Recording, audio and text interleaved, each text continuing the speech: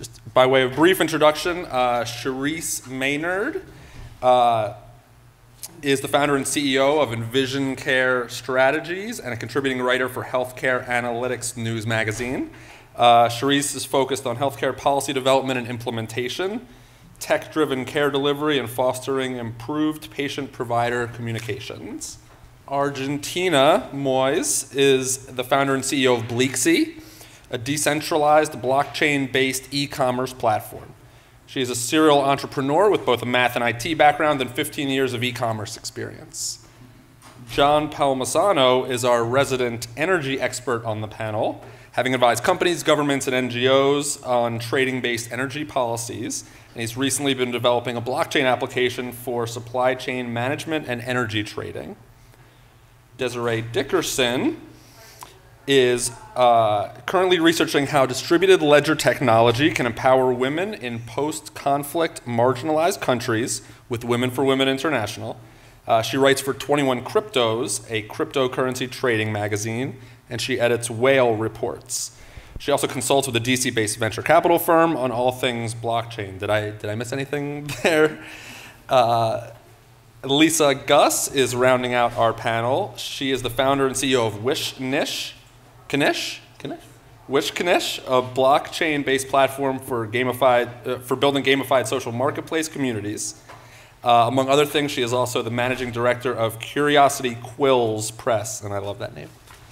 Uh, so I was hoping that we could start uh, before we get down into the weeds um, with a more general discussion about uh, blockchain generally. Um, the word blockchain gets thrown around a lot. I've already used it a few times, um, but I think it's useful to drill down a bit to make sure that we're all talking about the same thing here.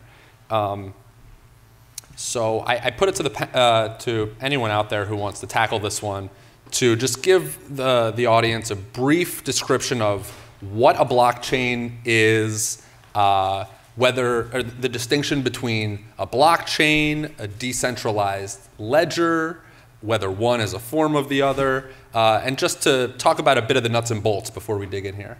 Um, blockchain is actually a um, ledger. What makes it um, unique, the way the uses we're using now, is because it's a distributed ledger. So the easiest way, and I'm in the healthcare game, so I always try to describe it as not the Batman, but the Robin of the scene because most people think blockchain is this new thing that everybody's the new shiny thing, I guess is what we'll say. But it is a distributed ledger, and um, the uses we're seeing for it now, people are looking at it as the new shiny thing, but what it is is an enhancement to um, security and different measures and integrations. And I think the best way for people to approach it if they don't understand it is to find how it fits into the way they need to use it. Not to everybody try to jump on the bandwagon and say, oh, we're doing this in blockchain, we're doing that in blockchain, because blockchain is not the solution, is a part of the solution. So, so what, what is the blockchain and how are, how are blocks added to the chain? Yeah. Go for it, Trace. Okay, these are um, um, distributed um, networks, and you usually have persons who are groups of networks who are on the um, block. So everybody gets their own ledger. It contains the same information. You're sharing data. So anything of value that you're sharing on the block, it can be data, it can be um, currency and that type of thing. It is not Bitcoin. So everybody who thinks that um, blockchain is Bitcoin, Bitcoin is built on a blockchain, not the other way around. Um, so everybody gets their own copy of the ledger. And the, um, what's unique about it is that it's all um, updated in real time. So um, let me give you a simple use, credentialing. Let's say um, you have a patient um, who wants to get a prescription filled. And a question I get often is, why does it take so long for me to get a prescription? And I always say, you think you're the only person involved in that transaction between you and your doctor or you and your pharmacist, but there's really actually 10 people in that room. So what they're doing is there's so many transactional inefficiencies. Everybody's getting credentialing done. Everybody's making sure that you're authorized to have that um, medication. It's a lot involved in that process. What blockchain does is give everybody involved in that process their own copy of the ledger. And it allows them to credential everybody in real time exchange data in real time, secure it all in real time, and make it so others can't access it without everybody in that circle being informed about it. And it'll get your prescription to you in a matter of hours as, as opposed to, I mean, in a matter of minutes as opposed to a matter of hours. So, so essentially what we're saying is that once all the, the parties verify the information at hand, then a block is added to the chain? Exactly. Okay. So is, for, for our purposes here, I mean, should we take a step back and talk about decentralized ledger technology generally? Is, is that really the technology that underpins a lot of these tech, uh, the, you know, applications that we're seeing right now? Lisa?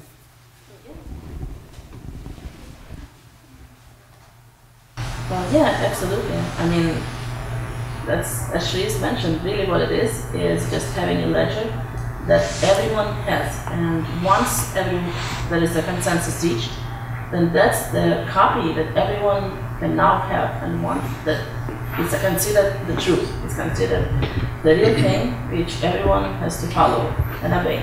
But actually, at the same time, while it could be dangerous, because you know, what if there is a man in the middle attack? What if there is someone coming in and bringing in the wrong information? What then? I mean, is it going to destroy the entire chain? But that's where having a distributed ledger comes in. If the chain is big enough, or it is secured enough in case of a private blockchain, then what it means is the information that flows in needs to be it needs to be agreed upon by enough computers, by enough nodes, that it's really difficult to um, reach at the same time. And that's why the distributed nature of it makes it so secure at the same time as some people could see that it's really opening up to um, people coming in and abusing it. It can't. If enough people are involved, that's really what makes it so secure. Thank you. The, the, this next one's for John. Uh, for, for many of us, uh, myself included, I, I, blockchain technology is still largely abstract in that we really haven't seen or, I, or maybe realized that we've seen applications in the, in the marketplace. Um, can you maybe highlight some of the applications that are in use today? Um, you know, I'm thinking maybe food supply chain uh, in the energy space for you in particular. I'll give a couple of thoughts about that. But first, I'd just like to comment on the last Sure. discussion. It- it- It's almost Talmudic to talk about what is the essence of blockchain and distributed ledger. In my world, the customer, the client, the entity that's trading, the entity that is investing in me and my ideas, they really don't care. Form follows function. What is it that I'm trying to achieve? And if blockchain is part of the solution, God bless America, let's go with blockchain. But if blockchain is just a substitute for, for Excel or SQL or something like that, then I'm wasting my time because these legacy systems work. They're working all around us. So, you know, that's my only observation about some of the things we're- that were just discussed. I I don't find it fruitful. In terms of use cases, there's so many use cases. I, I, I only know about energy and environment. Um, so the environmental area, for example, there's a huge problem with deforestation associated with uh, palm oil. That's a very big problem, not here in Arlington, but in lots and lots of countries. So you're able to track, you can track the palm oil from the tree, from the tree to the grower, to the GPS, to the truck that picks it up, the guy's ID, the, the time he picked it up, he brought it to the next station, it was aggregated, did it, did it, did it, all the way to Nestle. And now I got a candy bar from Nestle, and it's got a, let's say 56-digit code on it, and I could find out what tree it came from, was there deforestation associated with it? Likewise with gender inequality. That's a big issue to a lot of people, it is to me. What about slavery associated with fish farming in, in Southeast Asia? What about, we could go on and on and on. So that whole supply chain, in terms of environmental, social benefits, is really important to track. My, let's say my interest, and people like me, that interest is, what happens at the end of that supply chain? There's a transaction. Ah, money gets exchanged. What a perfect application for blockchain. Because I know the characteristics of the cocoa, the palm oil, the copper, the emissions credit that came from what country, where, how. That's a really wonderful kind of thing. So it it provides a big social benefit, like Excel provided a big benefit to users. It also provides a pecuniary benefit to people like me who are in it for the money. And I can, I can wipe out intermediaries, and there are thousands and thousands of intermediaries who should be wiped out because they're taking usurious advantage of people at the ground level in the cocoa, coffee business, et cetera. Uh, Does anyone else want to weigh in on some of the applications these Uh, days? I'd like to go back a little bit to uh, blockchain and distributed Sure. ledgers. There is a difference. When you are talking about blockchain, the information is distributed across all the nodes. When you are talking about uh, permission or permissionless distributed ledgers, information is not uh, spread across all nodes. It's, uh, it belongs just to the node that needs to know what is uh, inside the small network that goes there. So, for most of the businesses, there is no need to put a lot of information in the blockchain. Everything can stay in a distributed ledger. It's very expensive to store information in the blockchain these days. And what we recommend is always to put just the hashes. And this will create references to distributed databases that can be either centralized or decentralized. It doesn't really matter. When it comes to the supply chain, uh, when you look for the provenance, there is no, not always uh, true what you write in the blockchain. Uh, anybody can say anything when uh, they try to prove uh, the provenance of diamonds.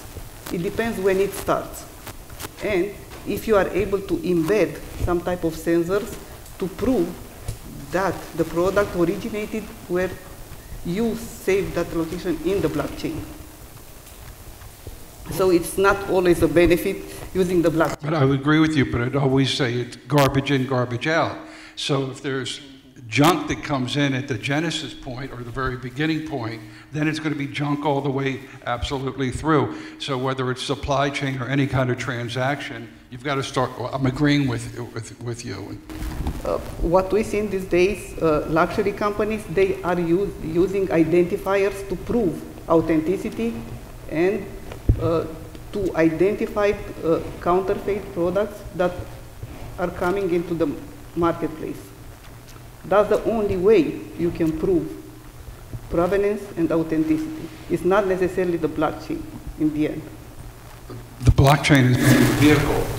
It, it is, but it's not an authority in that sense. And see, healthcare is different because we don't um, operate in that way. We can't just, you know, um, prove it by calling somewhere and that type of thing. Everything has to be credentialed. Everything has to be verified. Everything has to be peer reviewed. Um, and everything at the end of the day is contributing to someone's health outcome. So um, the blockchain, and it's no secret that in healthcare, security and breaches are huge. Um, you know, I have companies will say that we're not interested in blockchain technology um, because we believe our system can't be hacked. To which I'll say, hold my coffee. Let me show you how your system can be hacked. Um, and usually, you know, you can get them to understand healthcare is different. We have um, HIPAA to consider. Um, and like I said, at the end of the day, in healthcare, what you're doing is improving outcomes. And you want to be able to um, use the um, um, integrations with blockchain to um, secure people's health data, but also to improve how they interact with their doctors, how communication is done, how quick they get medicines, how quick they get access to care. So verification and credentialing, it all is on a deeper level, and again, HIPAA. So um, blockchain, the uses that we're um, seeing emerge in, in healthcare are not only um, pivotal, but they're extremely important. Could you talk about a few of them? Yes. um, in healthcare, you get a lot of uh, um, companies and vendors who say, and they call me all the time, And HIMSS, they would pull me in the aisle, oh, you're Twitter famous, we need you to look at our product and get it out there. And I'm like, I will look at them, and they don't have a use case um, ready for market, which is very important in healthcare because there's this need right now. Um, but we are seeing some actual um, movement and some. I don't like to use the word promising because the next vendor that tells me something's promising, I'm really going to scream. But um, the um, the companies or vendors where we're actually seeing use cases now um, and where they're raising money and actually have a product ready to go to the market. My favorite one right now, they just invited me down to Atlanta um, to spend a whole day to see how theirs is working and that type of thing is um, Patientory. They're um, doing it and it, the reason why I really like their product is because it gives more um, patients more control of their own data. Um, where I'm not seeing with them is um, them working with the, like the state exchanges and that type of thing, but they're very um, early. But they do have a use case. They say that they're ready for me to see. And then um, MediBloc has um, actual one, the same thing, patient communication. Um, and then for credentialing, the only company right now who's doing it, who actually has a case and as I say, the contracts are signed, um, so they have contracts with the different states or for credentialing of um, healthcare providers um, is um, Hashed Health. Um, and they invited me to come see their unit at um, HIMSS um, recently. I was in to see that and I like what they're doing. I didn't think they were quite ready, but now I actually talked to them yesterday and they said, we're ready.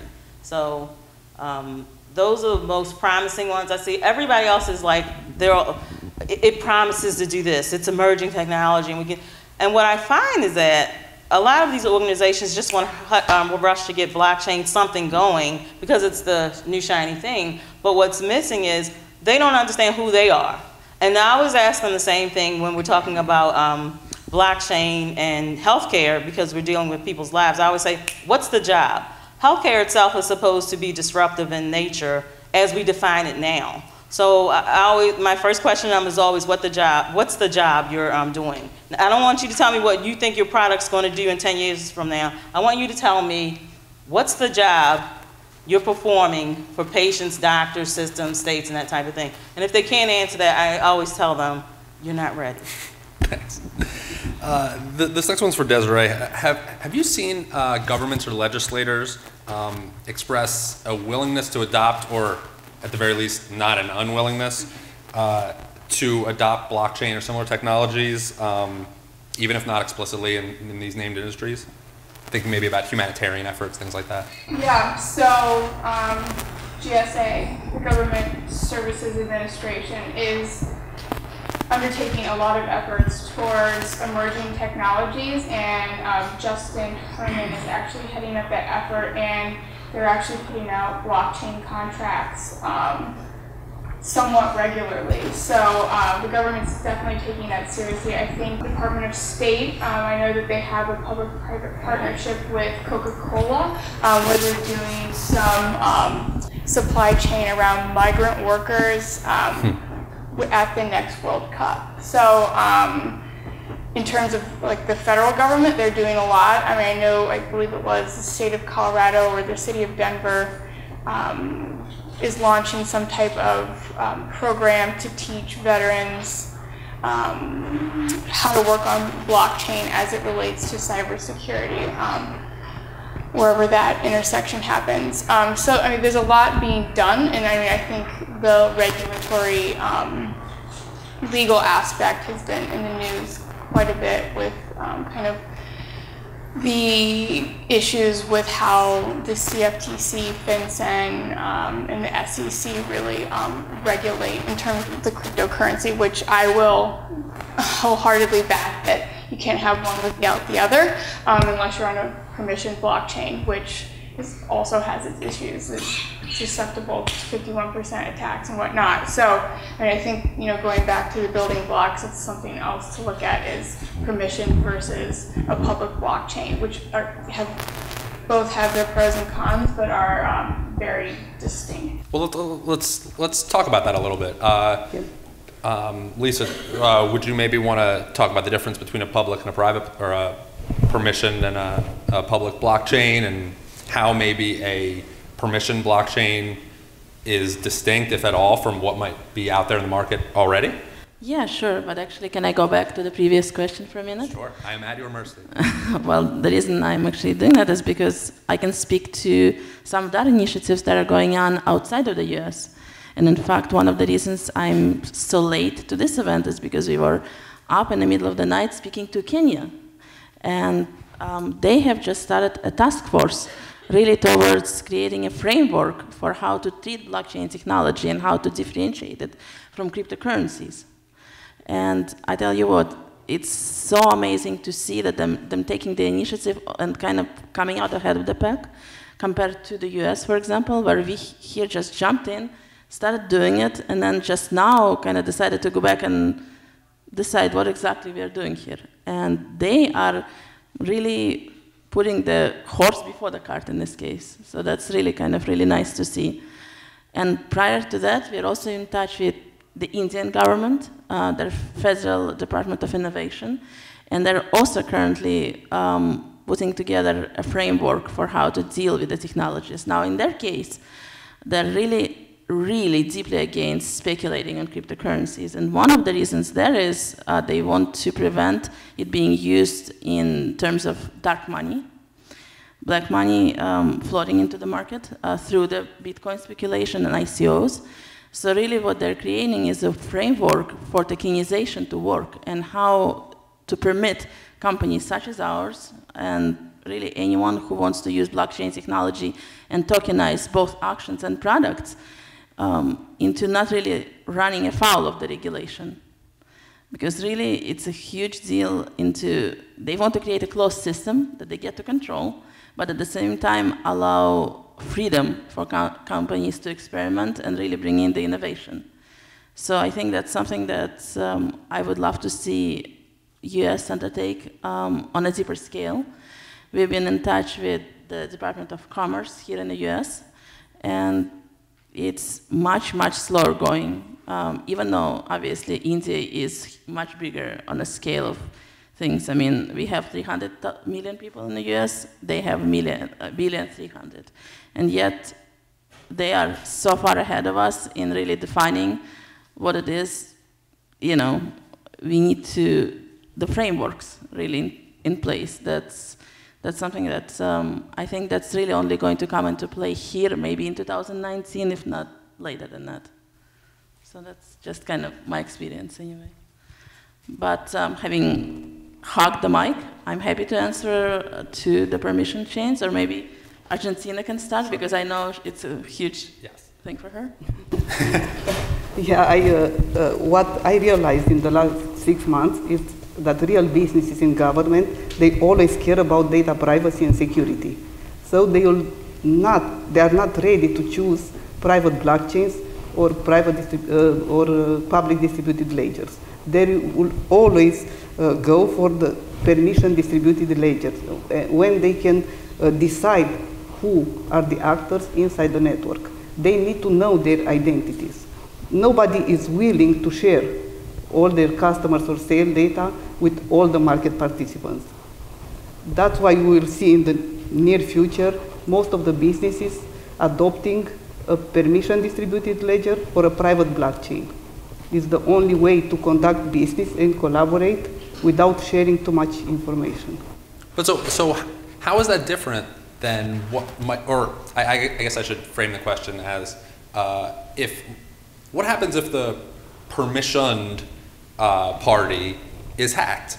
Uh, does that end up in the same place as where, where we are with a non-blockchain company? And uh, no. Uh, in a non-blockchain company, information is centralized. So it's a central authority, and once you hack, you hack everything. When it comes to a permission distributed ledger network, there are just few nodes that can be hacked. The network itself stays safe. So everyone is in charge of their own security. So that will ensure highest levels of data privacy and security in the end. Desiree, look like you want to. Yeah, no, unless there's like a botnet attack, which in that case, the entire network would be become a centralized party and therefore everything, you know, you have that access. Have we seen uh, security breaches like that for you know, companies with permission blockchain? No, I mean theoretically it's possible. I mean you would probably need some sort of quantum computing, um, but um, no, I mean it- most of the hacking that happens around the blockchain is like third-party applications. I, I- I think the jury's still out on this issue. First of all, what is the nature of the hack? Did someone find out that my daughter's name is Samantha, or did somebody take 5,000 bitcoins out of my wallet? So there's a big difference. Uh, second, uh, it depends on the application that you're looking at. So I look at commercial transactions. People who trade oil, gas, electricity, emissions credits, what have you, they write big tickets and they're very concerned about liability. So before you could even get somebody onto your system, the risk committee at Goldman or Accenture or somewhere, whoever, Swiss Re, they want to review your system and they want to know who stands behind it. Who's standing behind? Who's writing insurance? Who's doing D&O insurance or hackability insurance or some kind of insurance and they're providing, let's say, $50 million guarantee against X, Y, and Z. I haven't run into that yet, but that's the next frontier. If you want to get into the commercial world, I'm not talking about retail, you know, $100, $500 transaction, but multi-million dollar transactions. Uh, you, you need an entity. Eventually, you got to get to some entity that's standing behind you. Uh, I agree. I'm sold on blockchain, hook, line, and sinker. So I'm a believer. I drank the Kool-Aid. But it, to roll out a commercial grade system for big tickets with big players, um, this issue of liability, I believe, is yet to be resolved, and it's going to be a retirement program for smart attorneys. I, I was going to add something there, but I'll hold up. Uh, it seems like a pretty good time to segue into smart contracts. We talked a little bit about them before, but uh, John, I know this is something that uh, you've written upon. Um, can we just get a general overview of a smart contract and then maybe uh, how they're applied in the context of a blockchain network? Maybe somebody else would like to comment on that. I'll, I'll just say quickly how a smart contract would work. Uh, again, again, in the commercial world, um, uh, so imagine you have an oracle like the Dow Jones Industrials. So there, I write a contract, uh, Argentina and I write, write a contract. Um, I promise to sell my house to you for $50 if the Dow Jones Industrials drop more than 500 points in the next 24 hours. It's time stamped, it's this, that, and the other, and the Oracle is the Dow Jones Industrial feed that's coming in every couple of seconds. Of course, somebody's put up some escrow and a letter of credit, which is being held, it's being held someplace. All this is electronic. And if nothing, ha- if nothing happens, nothing happens. But if the Dow Jones Industrials drop by that certain point and we pick up that feed, there's an, there's a very, very rapid exchange, which depending on this block cycle can be completed in, in, in just a few minutes. What does that do to the brokerage community? That wipes out the brokerage community. So if you, if you care about things on a micro scale, invest in my company. If you would care about things at a macro scale, if you could short the brokerage community, if there are 500,000 people in America who are brokers or intermediaries today, if you could short that, I bet just about everything I have that in five years, there won't be 500,000 people, there'll be a heck of a lot less. And that could be a smart contract where somebody could take out a hedge on their own profession. I, I, I, think that, uh, Charisse, you could probably speak uh, best to the question of, inter- of intermediaries and taking them out of the equation, at least in the healthcare field. I mean, does, do we think that that poses any problems, uh, any confidentiality risks, things like that? Well, um, it poses problems for a lot of stakeholders. Um, because everybody in, like I said, all these people who are in the room when you're seeing your doctor, everybody has their own interest there. So it poses a threat in that um, those people who have so much control in that room have less control um, in this um, situation that we're talking about. So for the patient, for the, for the provider, for the society as a whole, it's a wonderful thing. So if you look at even something like um, direct primary care, where you're removing that middleman altogether. Insurance company is out of that equation. You have the patient there and the doctor. The payments are paid to that practice directly, um, and the information is shared on that blockchain. O- Only those entities in that, what we call the circle of care, have access to that information. It cannot be changed without those people agreeing for it to be changed. It recognizes the patient as the owner of that data. That's a wonderful world, ideally. However, the insurance industry would have a great problem with us recognizing direct primary care as an insurance model because it cuts them out. So that CEO of United Healthcare, who currently makes seventy-nine thousand dollars per hour, where the average um, American makes maybe twenty, I don't know, twenty dollars an hour, um, uh, it all of a sudden takes all that money out of their pocket. So yeah, it causes problems for um, several interests, but it's the greater good for the masses. Argentina, go for it. In retail, it's a little bit different because uh, there is no regulation, so uh, we, we don't need permission to remove intermediaries like uh, centralized marketplaces like Amazon and uh, Walmart. Uh, we can trust uh, the network without the need to trust each other. Exactly. So Yeah.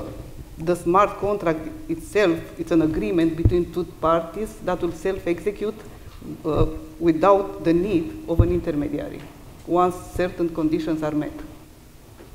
So it simplifies the entire process. Lisa, uh, can you talk a bit about how a smart contract like interacts with uh, with blockchain on a retail level? Like if, if you're selling me a product, like how just nuts and bolts? How, how does that work? Well, in our case, it really, as Argentina said, quite simple. Um, if you know, if I want to sell something, then I can just put up the price, and as soon as it's met, then immediately that product completely and fully and the- belongs to whoever has paid the price. Now, um, we can actually make it, we can start talking about DRM technology because right now we are working, for example, with a big uh, publishing distributor, and there is no way they would allow um, the books, for example, to not have a DRM. So in that case, would need to make sure that those conditions are met, and that would also need to be written into the smart contract in terms of making sure that you cannot, in that case, resell the book, for example, or you cannot open it uh, un- under certain conditions. So then, in that case, what you need is a Turing complete contract, uh, which is something that has been pioneered by Ethereum, as opposed to something like an IOTA, would, which actually is very simple. If then, if this, then that. That would be um, your Turing incomplete contract. Now, what the Turing complete contract is, it's something that allows the data to be stored right within the contract, and that actually allows the changes within the blockchain under certain conditions. So in that case, obviously, when it starts, when more than one party is involved, then in that case, you need to really program a lot more of different developments in, like for example, the developments uh, with the example with the Dow Jones. So that would really depend on how many parties participate and what conditions need to be met. So, so are you guys, gals really, uh, seeing um, an increase in the importance of coders and developers and maybe a decrease in, por- in importance of attorneys in terms of drafting contracts for your enterprises? I would actually say no. Maybe eventually, yes. Uh, once every nuts and bolts in the uh, legal sense are actually taken care of. But initially, I wouldn't want to write a contract myself, so I would need the help of an attorney to write it, and then I would need a coder to actually put it into a code. Now, eventually, once everything is really simplified to nuts and bolts, basically, then perhaps you might need l- l- have less need of an attorney for that for those cases. But at the same time, I think more um, use cases will arise which you ca- actually cannot even imagine right now. So Less billable hours is what we're saying. yes, for now, I think for now. It's not just that. If you reach a certain level of standardization, you don't need any. You don't need developers, you don't need lawyers. But they'll be creative to come up with Well, yeah, that's true. new But I mean, problems. exactly. But I think that humans are a kind of um, animal that's going to come up with its own set of problems. And then I think you're still going to need lawyers to figure out what to do with the programs and then coders to put it into a smart contract.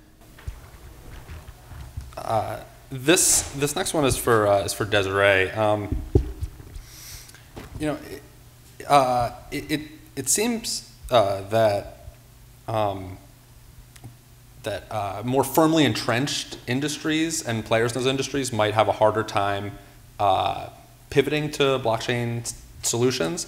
Um, ha- have you seen, uh, and, and I think you, you noted a couple, I think Lisa noted a couple earlier, um, examples of maybe uh, entities in the developing world or more nascent industries uh, being quicker to adopt blockchain and related technologies?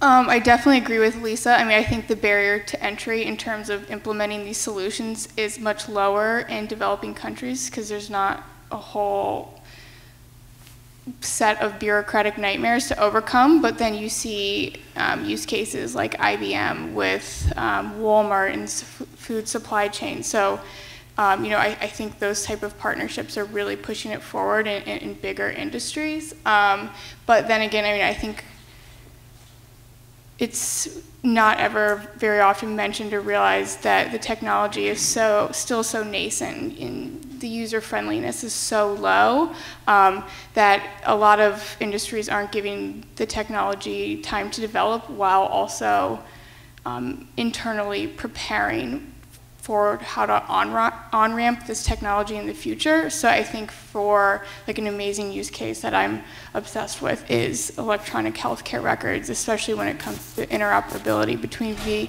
VA and DoD. And I, I think that's just ripe for innovation. But um, that being said, I, there's you know 800 policies at VA that, that would need to clear through, and then then you're bringing in, in terms of any industry, um, the GDPR regulations coming out of Europe and, Sure.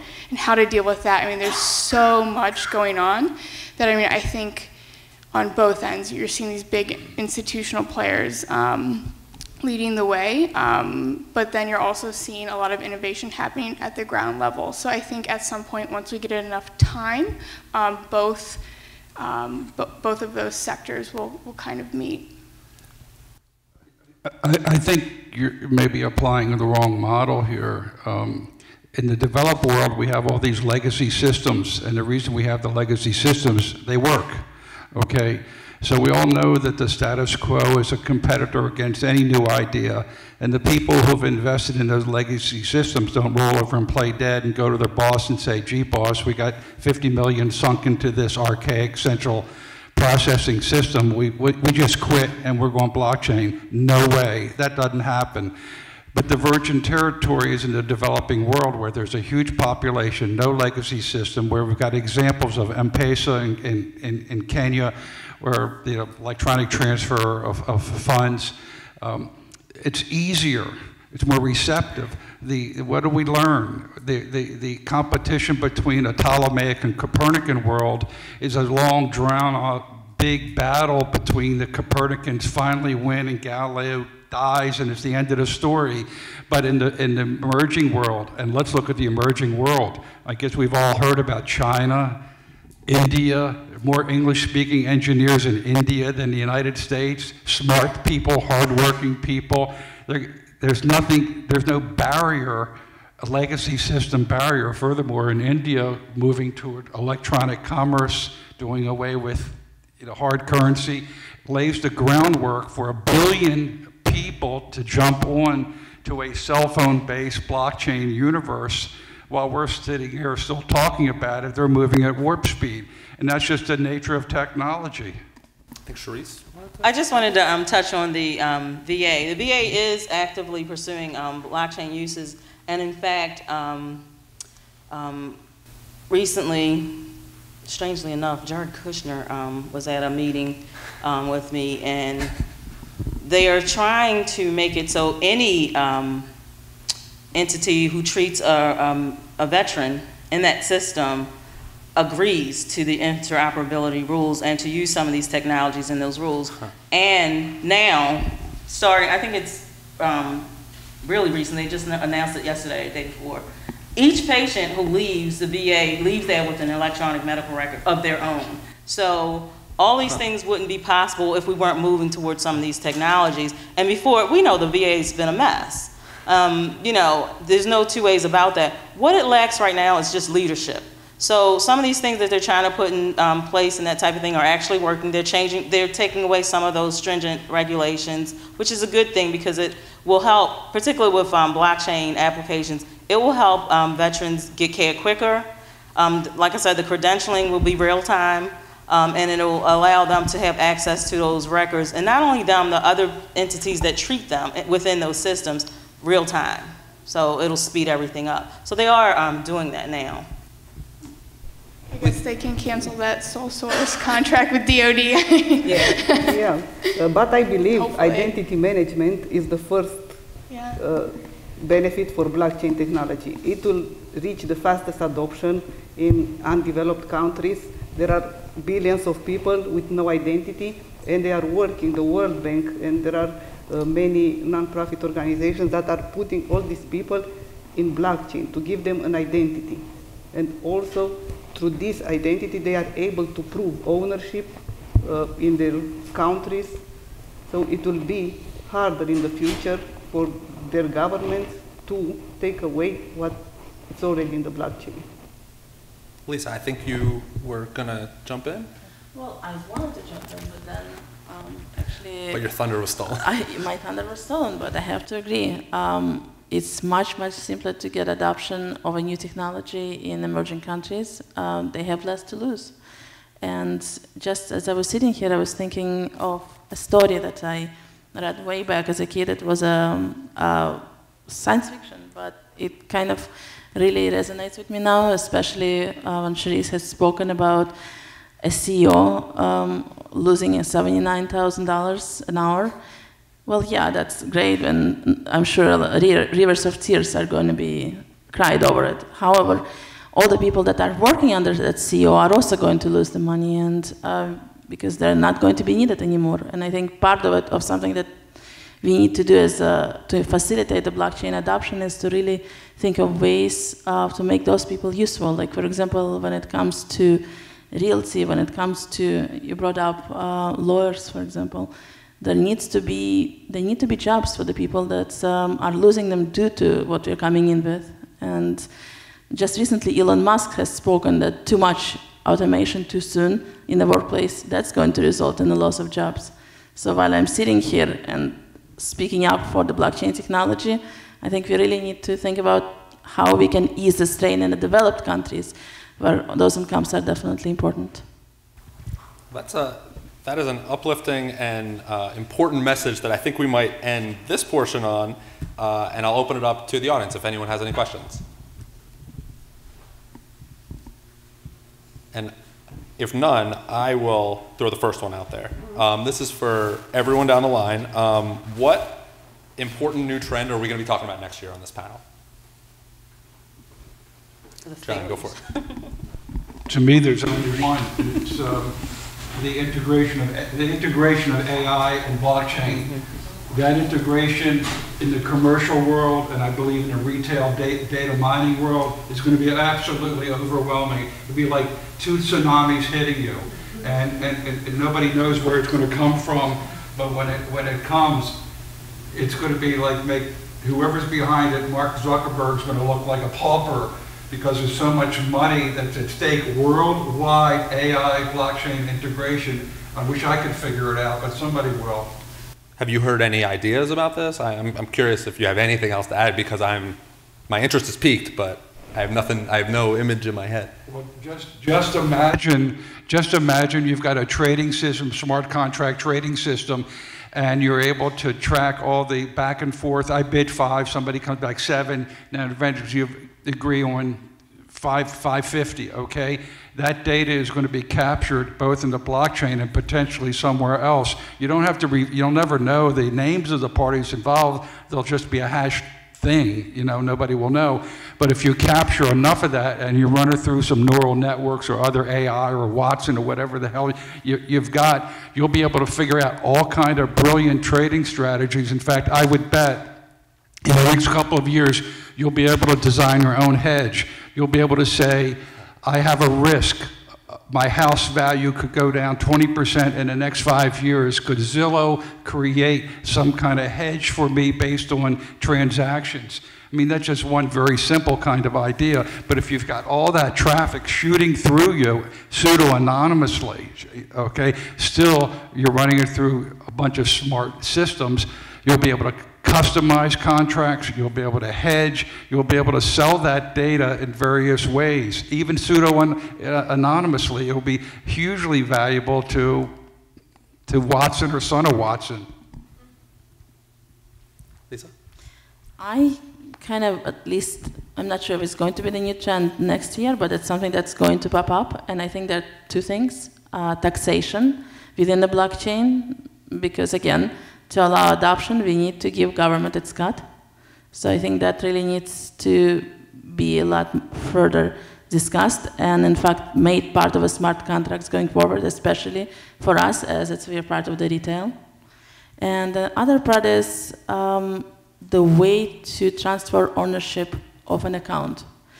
Like let's say right now a lot of cryptocurrency owners are fairly young but they're going to age and they will want to start thinking of actually legal representation and the way to give that rights to the kids. So how do you get an oracle that would work within that system? Yeah, so, so for instance, uh, I own however many Bitcoin, and what happens when I die? Are we going to write it into my will? Is it even possible to transfer the Exactly. wallet? Things like that. And how do you actually pre- prevent it from being gamed and actually announcing someone being dead and then immediately transferring those bitcoins and then hey, next thing someone is saying, hey, I'm still alive. What happens to the bitcoins?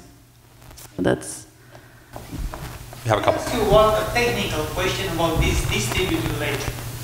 Is distributed in the sense that there are many copies of the same ledger mm-hmm. and the different actors have, uh, have uh, access, each one to his own copy? yes, yes. And then the copies are re uh, updated when I write something in my ledger, it communicates with all the other ones? Or is one, only one central ledger that every, no, okay. Everybody gets their own copy. If So it's that means updated, There are a everybody million people that are participants. You have a million copies of the same ledger? No, yes and no. Depends. if you have a public blockchain, you have a copy everywhere.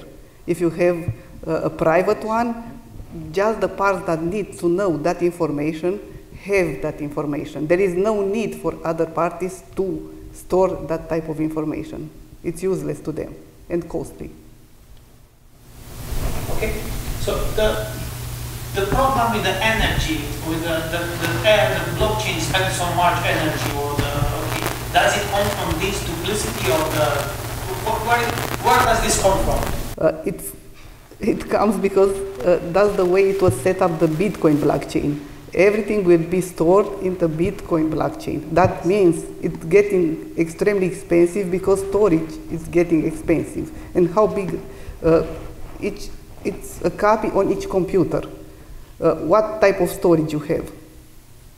So the bigger the database, the more expensive will be to store information in that blockchain. So in the future, we need to optimize and write as little as possible in this public blockchain. So it will be cheaper and they will hold more information.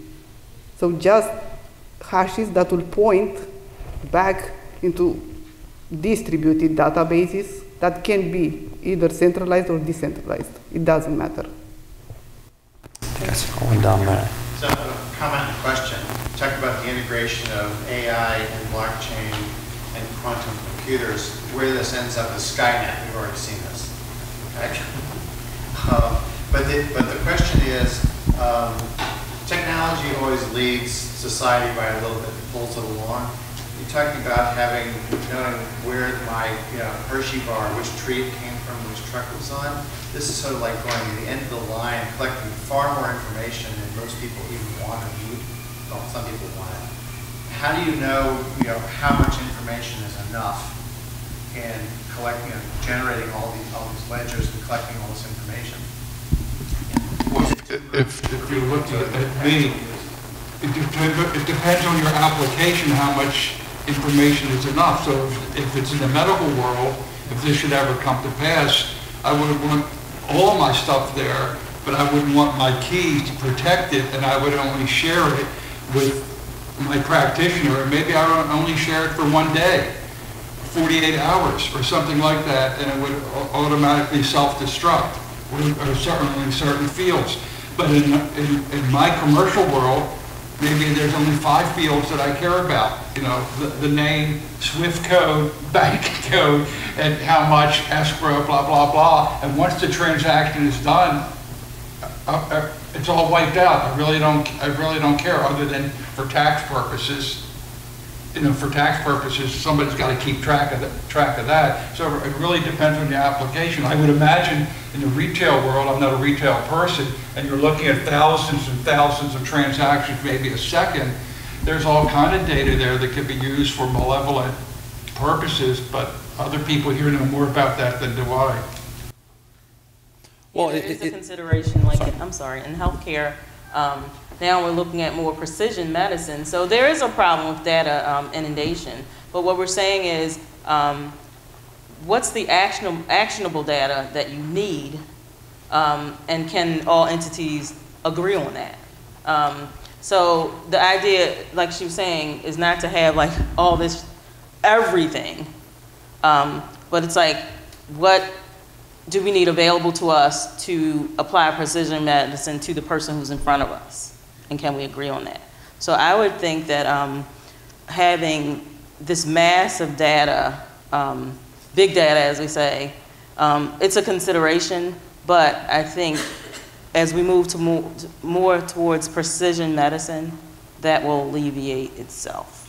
But in, public health or other fields, you're gonna have inference engines that are gonna take whatever data are available and create new data that nobody specifically requested, but is usable, even if it's de-identified.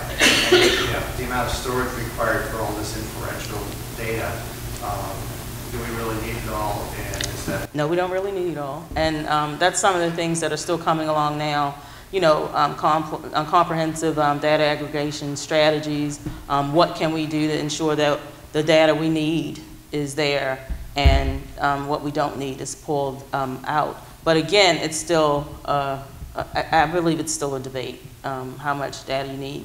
Because, but that's one of, um, that, one of the arguments I get, particularly from clinicians, often is that there's too much of it. Um, they don't need it all. You know, it takes away from precision med.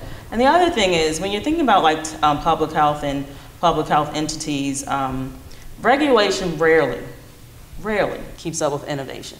So we have to consider that, like getting regulation changed so that we can move towards um, precision medicine and some of these blockchain uses. We're still getting that kind of pushback. Um, so they do want to collect all this data, and like I always say, what's your buy-in? Um, what do these entities need all this data for? I honestly think they don't know. Um, so these are the conversations that still need to be um, had, um, unfortunately. I think it's more part of the architecture. When you create a system, uh, you have uh, different layers of data. What you put in the blockchain, it's what is important and what it matters. In the second layer, it's what you save in the nodes, which are transactions. The actual da- data is stored in the clouds, and it will be archived or destroyed because it's not valuable, valuable data and it's not going to be relevant uh, in the long run. So whatever is not needed will go away. I think I saw. Okay, this is uh, not just a question, this is also a comment on this gentleman's uh, previous question about the, uh, the energy used by blockchain transactions. And um, just adding on to Argentina's answer, it's not just about data that's stored, but also about the consensus method that is used to determine whose information, whose version of that ledger is the correct one.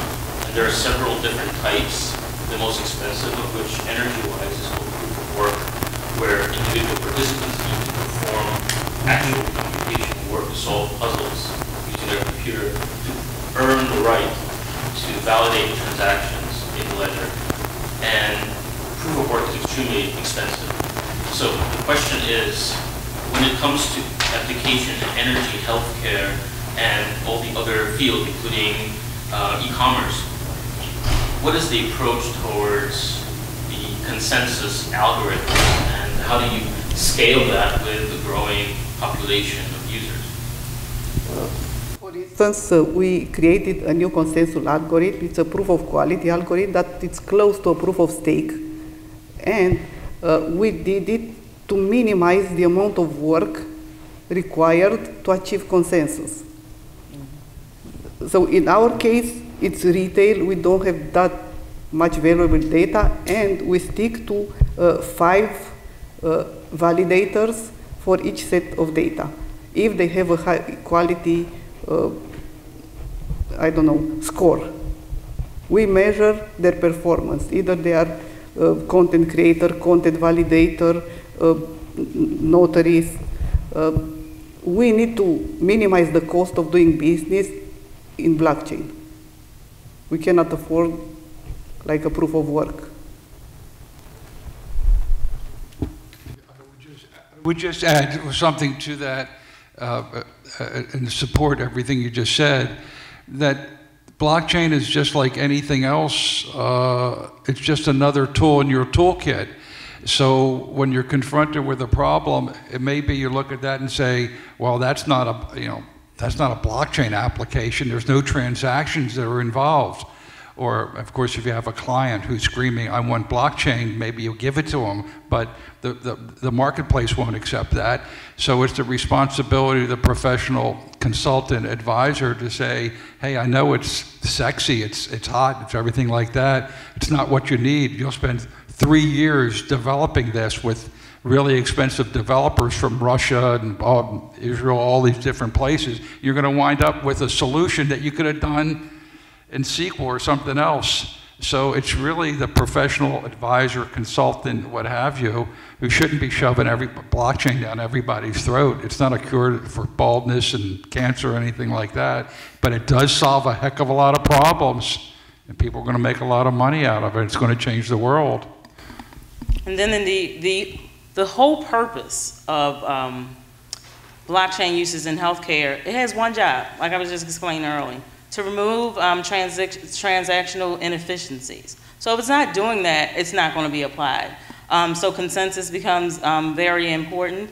Um, and the uses we're seeing now in um, the healthcare community, it does a couple of things to um, remove those inefficiencies. Transparency. Most people don't know how much it costs to get treatments, drugs, and that type of thing.